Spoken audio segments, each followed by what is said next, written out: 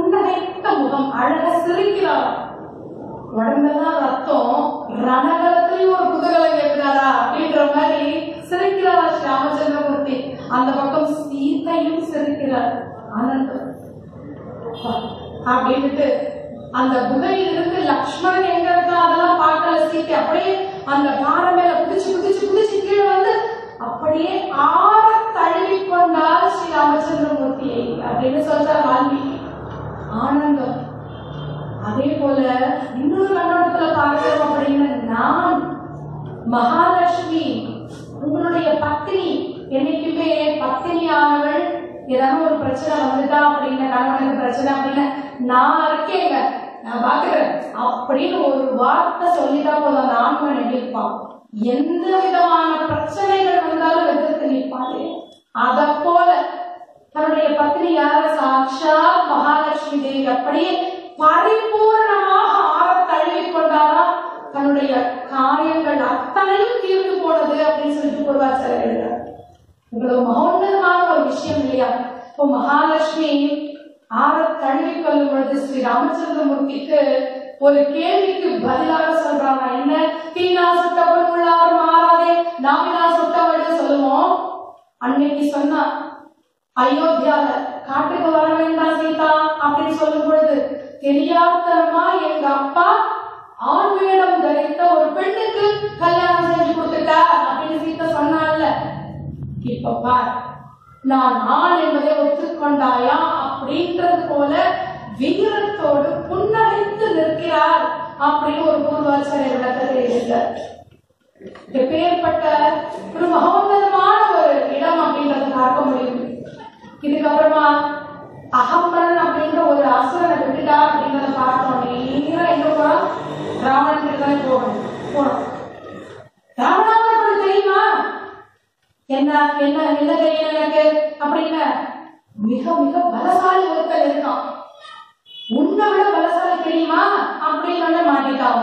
எப்பொழுதுமே ஒரு வீரன் கிட்ட போய் உன்னை விட பலசாலி அப்படின்னு சொல்லிட்டாலே முடிஞ்சு போச்சுல ராவணனுக்கு சரியான கோவம் ஆமா. பதினாலாயிரம் பேர் போனாங்களா? நீ மட்டும் எப்படி வந்த ஒண்ணு விட்டுட்டானா? அவன் பாக்கிய கண்ணு தெரியலையா ராமனுக்கு? அப்படின்னு சொல்லி கேட்கும் பொழுது அங்க ஒரு சேவை நடந்துச்சு. அந்த புடவையை உடுத்திட்டேன் நான் பெண்ணு கிடைச்சி என்னை விட்டுட்டான் ராமன். இவ்வளவுதான் விஷயம். இல்லைன்னா நானும் அங்கேயே செத்து போயிருக்கணும் அப்படின்னு சொல்லி கோபமா சொல்லி சொல்றத கேட்டுட்டு இருக்கான் ராவணன் இந்த பக்கம் சூர்பனகை வரா ஓடு அழுதுட்டே வரா. இந்த கோபம் அப்படியே தன்னுடைய தங்க கிட்ட மாறி திரும்பி என்ன ஆச்சுமா அழகான உன்னுடைய முகம். யார் இப்படிலாம் பண்ணா? மூக்கெல்லாம் அறுத்துட்டா காதெல்லாம் அறுத்துட்டாரு யாரு என்ன பண்ணா? அப்படின்னு கேட்கும் பொழுது சுப்பனகை என்ன சொன்னா தெரியுமா? சரியான ஒரு மாயக்காரி மட்டும் இல்ல காரியவாதி கூட. இந்த சுப்பனகை என்ன ஆன்சர் சொல்றா தெரியுமா? என்ன அழகு தெரியுமா? நான் ஒருத்திய பார்த்தேன் ரொம்ப அழகு இவளை விட அழகானவர் இந்த உலகத்திலே இல்லை. சத்தியமா அழைச்சு சொல்லுவேன் அப்படின்னு சொல்றா சூர்பனகா அப்பேற்பட்ட அழகா அப்படின்னு சொல்லிட்டு ஒரு நிமிஷம் அந்த பூ போயிடுச்சு. சூப்பராக என்ன சொல்றாரோ அதை கேட்க போயிடுச்சு. இந்த தன்னுடைய சகோதரர்கள் கொல்லப்பட்டாங்க இந்த அகம்பனா வந்து வீரன் அப்படின்னு சொல்லி எல்லாம் மறந்து போச்சு. இந்த பெண்ணை பற்றின வரதனையே கேட்டுட்டே இருக்கான் அழகான கூந்தல் தெரியுமா அவளுக்கு? அந்த கூந்தலை பார்த்து இருந்தவங்க பத்து பேர் இருப்பாங்க. அப்பேற்பட்ட அழகி அவளுடைய நடை அழகா சொல்ல வார்த்தைகளே இல்லை. நளினமான ஒரு அழகு. ரொம்ப சிம்பிளா சாரி இருக்கா ஆனா பார்த்த உடனே வசீகரிக்கக்கூடிய முகம். நான் சொல்லுவேன் சத்தியமா இந்த பூலோகத்துல அவளை விட அழகி யாருமே இல்லாதான் அப்படின்னு சொல்றான் ஏற்கனவே ராவணன் ரொம்பவே பெண்கள் அப்படின்ற விஷயத்துல அப்படியே உடனே சரிக்கு விழுந்துடுவான். அதை போல விழுந்துட்டான். அப்படியா? அழகா? அவ்வளோ அழகா அவ.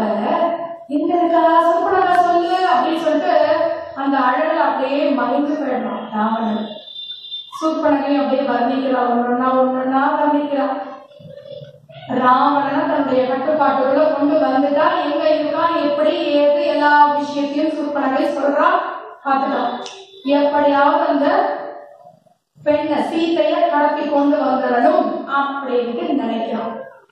ஆச்சு. என்ன செய்யலாம் அப்படின்ற யோசனை தன்னுடைய மாமா மாரீசன் தான் ஞாபகம் வந்தது. மாரீசன் யாரு?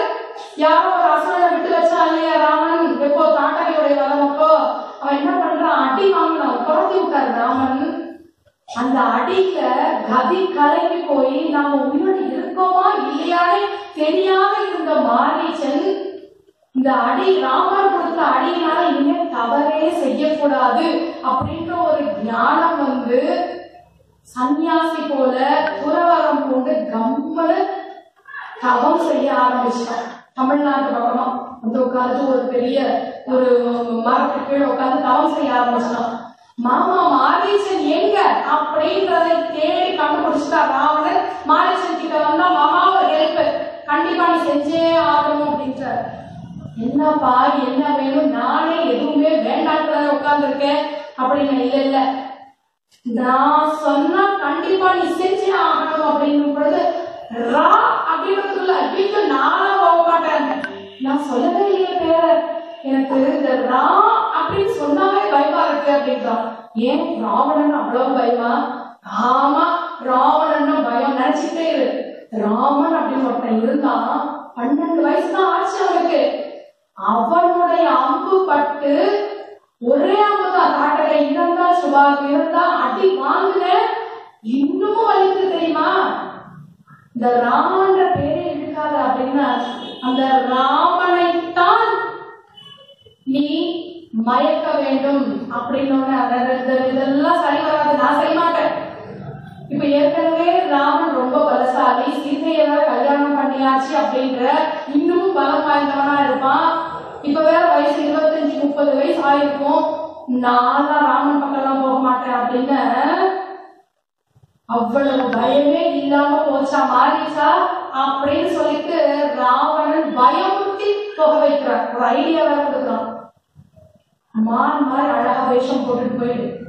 சீதையை ஏமாத்தி ராவணனையும் லக்ஷ்மணனையும் எப்படியாவது வெளியில கூட்டிட்டு போயிடு நான் பாக்குறேன் அப்படின்னு சொல்றான் ராவணன். மாரீச்சன் சொல்றான் இது சரியான வழி இல்லை. கண்டிப்பா நான் போறேன் ஆனா என்னுடைய உயிர் என்கிட்ட இருக்காது அப்படின்றான்.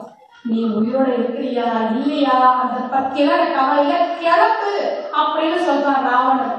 அப்ப சொல்றான் மாரீசன் நான் எப்படி ராமனால் என்னுடைய உயிரை இழந்தேனோ நீயும் உன்னுடைய உயிரை இழப்பாய் அப்படின்னு மாரீசன் சொல்லிட்டு கிளம்புறான்.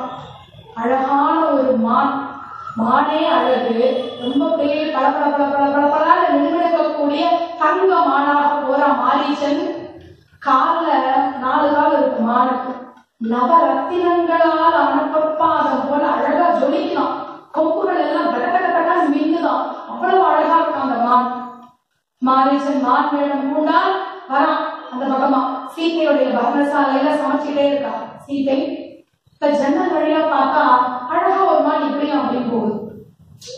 எப்போதுமே மின்னல் மாதிரி ஒரு போயிட்டு வந்துச்சு நம்ம கண்ணால என்ன அது அப்படின்னு யோசனை பண்ணுவோம் அதை போல அப்படி எட்டி பாக்குறா அழகா அந்த மான் அப்படியே துள்ளி குதிச்சு போகுது. நல்லா இருக்கே அழகா இருக்கே அப்படின்னு சொல்லி பார்த்துட்டு திருப்பியும் வேற ஒரு ரூமுக்கு வரா. அந்த ஜன்னல பார்த்தா அங்கேயும் அதே மான் அப்படியே கண்ணை பறிக்குது அழகா இருக்கே இந்த மான் அப்படின்னு சொல்லிட்டு திருப்பியும் அந்த மானையே பார்க்கிற சீதை வெளியில வந்து ராமன் கிட்ட அந்த மான் எனக்கு வேண்டும் அப்படின்னு சொன்னான். லக்ஷ்மணன் சொல்றான் அந்த மானை நாம துரத்திட்டு போனோம்னா அந்த மானுக்கு தான் போகணும் அப்படின்னு சொல்றான் இல்ல இல்ல எனக்கு மான் வேண்டும் அப்படின்னு சொல்றது ராமன் என்ன சொல்றான் என்னுடைய மனைவி எதுவுமே கேட்டதில்லை. இதுவரைக்கும் இது நாள் வரைக்கும் நான் மான் மான் தானே நான் பிடிச்சிட்டு வரேன் அப்படின்னு சொல்லிட்டு கிளம்புறான். இந்த இடத்துல குருவாச்சாரியருடைய விளக்கம் அப்படின்னு பார்க்கும் பொழுது எப்பொழுதுமே ராமனும் சரி சீத்தையும் சரி ரொம்ப மெச்சூர்டா இருந்துப்பாங்க.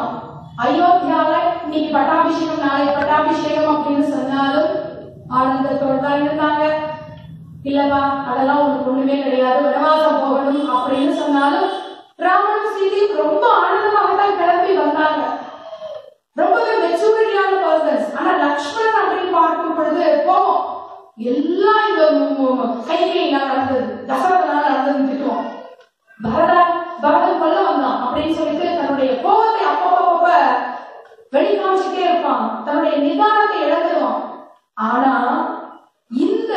சுச்சுவேஷன்ல இப்போ அந்த மானை பிடிக்கக்கூடிய சுச்சுவேஷன்ல ராமனும் சீதையும் ரொம்ப இன்னசென்டா ரொம்ப அப்படியே ஆசைப்படுறவங்க மாதிரி ரெண்டு பேருமே அந்த ம- ராமன் ராமர் சொல்றான் உடனே சீதை நீ கேட்டுட்ட கண்டிப்பா அந்த மானை பிடிச்சிட்டு வரேன்றாராம் ஒரு பக்கம் சீதை எனக்கு ஆசையா இருக்கு அந்த மான் மேல ரொம்ப ஆசையா இருக்கு அது ரொம்ப அழகா இருக்கு அப்படின்னு சொல்றாளாம் லக்ஷ்மணன் ரொம்ப மெச்சூரிட்டியா இல்ல. இந்த மானை பிடிக்க போக வேண்டாம். ஏன் அப்படி சொல்றேன் அப்படின்னு மற்ற மான்கள் எல்லாம் மான் நிறைய இருக்கும் இல்லையா காட்டுல? மத்த மான் எல்லாம் பக்கத்துல வருது.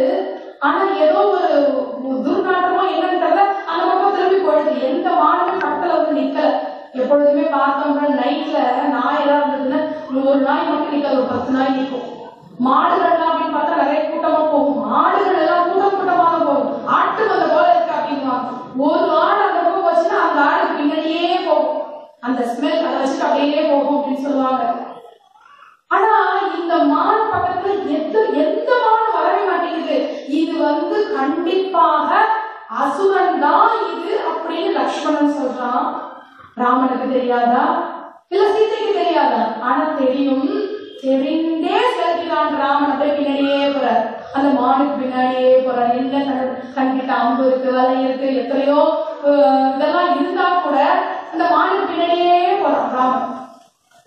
அப்படியே சீத்தையும் பார்த்துட்டே இருக்கா. அந்த வழி அப்படியே போக போக போக தன்னுடைய கண்ணுல இருந்து வரைஞ்சிடுறார் ராமன். தான் ரொம்ப நேரம் திரும்பி வரல. திடீர்னு ஒரு சத்தம்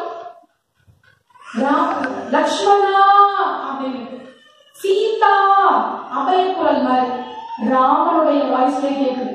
யார சொன்னது? மாரீசன் கத்துறான் மாரீசன அந்த மான தங்க மான சுத்தான் ராமன்.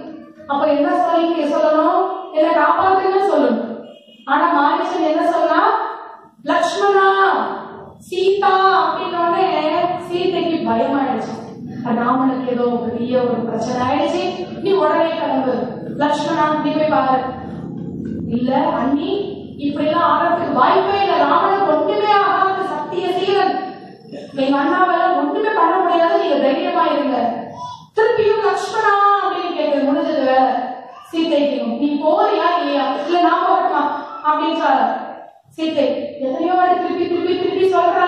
இவரு போக மாட்டேங்கிறா லக்ஷ்மணன்? இல்ல அண்ணா சொல்லியிருக்காரு அண்ணா சொல்லியிருக்காங்க கடைசியில ஒரு வார்த்தை சொல்றா. ராமன் இல்லாத சமயத்தில் என்னை அபகரிக்கத்தான் இந்த திட்டமா அப்படின்றார் லக்ஷ்மணனுக்கு இவ்வளவு நாள் உங்களை அம்மாவா நினைச்சு சேவகம் செய்தேனே தாயே அதுக்கெல்லாம் மீறி இல்லாம போச்சு தன்னுடைய ஒழுக்கத்தை பத்தி சந்தேகப்பட்டா ரொம்ப கஷ்டமாயிடும்ல? லக்ஷ்மணனுக்கு ரொம்ப கஷ்டமாயிடுச்சு ரொம்ப வருத்தம். இந்த வருத்தத்துடைய வெளியில வர வந்து இனிமே அம்மா சீதை உன்னை நான் பார்க்கணும் அப்படின்னா ராமன் என்னைக்கு உங்களோட இருக்காரோ அன்னைக்கு தான் நான் பார்ப்பேன் அப்படின்னு சத்தியம் செஞ்சு கிளம்புறேன் ரொம்ப வருத்தம் அதே போல நாமெல்லாம் சொல்லுவோம் லக்ஷ்மண் ரேகா ஒரு ஒரு பெரிய கோடு போட்டுட்டு போனா அதை தாண்டிட்டா சீதை அப்படின்ட்டுலாம் சொல்லுவோம். ஆனா வால்மீகி ராமாயணத்துல அப்படி ஒரு கட்டமே வரல அப்படின்றது தான் உண்மை. லக்ஷ்மணன் கிளம்பி வெளியில வரும் பொழுது வனதேவதைகள் என்னுடைய அண்ணியை என்னுடைய அண்ணனை காப்பாற்றட்டும் அப்படின்னு சத்தமா சொல்லிட்டு கிளம்ப ராமன் சென்றார். காலையில் அப்படின்னு சொல்லப்படுது. இந்த வனதேவதைகள் கிட்ட சத்தமா ஜட்டாயுக்கு கேட்டுருது சீதையை காப்பாற்றும் அப்படின்ற ஒரு சொல்லு ஜட்டாயு கிட்ட கேட்டுட்டு ஜட்டாயு ரொம்ப அவார் ஆயிட்டாரு. ஏதோ ஒரு பிரச்சனை அப்படின்னு சொல்லிட்டு ரொம்ப அவார் ஆயிட்டாரு அப்படின்னு சொல்லப்படுது.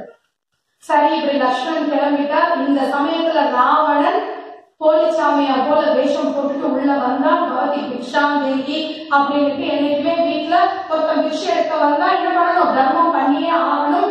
அப்படின்னுட்டு சீத்தையும் தன்கிட்ட இருக்கக்கூடிய பழங்கள் எல்லாத்தையும் போடுறதுக்காக வெளியில வந்தான் ராவணன் கவர்ந்து கொண்டு போனான் சீதையை தன்னுடைய புஷ்பக விமானத்துல போட்டான் கிளம்பிட்டான். இங்க இருந்தா நாசிக் கர்நாடக மகாராஷ்டிரால இருந்தவன் அப்படியே கர்நாடகா ஆந்திரா ருஷிமுக பர்வதம் இலங்கைக்கு போகிறதுக்காக தெற்கு பக்கமாக கிளம்பியாச்சு. இந்த சமயத்துல தான் ஜட்டாயு வர நான் இருக்கும் பொழுது என் குழந்தை சீத்தைய கடத்திட்டு போறியா நீ? அப்படின்னு சொல்லிட்டு ஜட்டாயுன்றது ஒரு கழுகு. புஷ்ப விமானத்துல போறான். மனுஷனால காப்பாற்ற முடியாது. ஜட்டாயு பறந்து போய் நில் ராவணா அப்படின்ற என்ன நிக்கிறது? யாருக்காகவும் நான் நிக்க மாட்டேன் அப்படின்ற ராவணன். என்ன என்ன- என்னை வந்து ரொம்ப எளிமையா நினைச்சிட்டியா நீ? அப்படின்னு சொல்லிட்டு ஜட்டாயு சண்டை போடுறார். சண்டை போடும் பொழுது தன்னோட இறக்கைகளை ஒரு பறவைக்கு மிகப்பெரிய பலமே இறக்கை தான் ரெண்டு பக்கையும் ரெக்க ரெக்கை அப்படி கட் பண்ணி போடுறார் அவதான் செட்டாயிட்டு கீழே கீழே விழுந்தாச்சு. ராவணன் கடத்திட்டு போயிட்டே இருக்கான். இங்க திருப்பியும் ராமனும் லக்ஷ்மணனும் தன்னுடைய வராங்க. ஒரே அமைதியா இருக்கு. யாருமே இல்லை. சீதா சீதா இந்த பக்கமா பார்த்துட்டு இருக்காரு லக்ஷ்மணன்.